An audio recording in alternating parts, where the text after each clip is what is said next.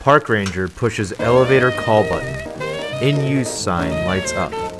Antique elevator door opens and closes. Elevator interior in motion.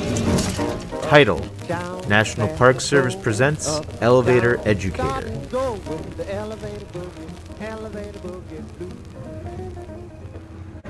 Elevator door opens. Park ranger holding door. Vanderbilt Mansion has six floors in total, four of which are accessible by this elevator. Elevator door closes, cuts to black.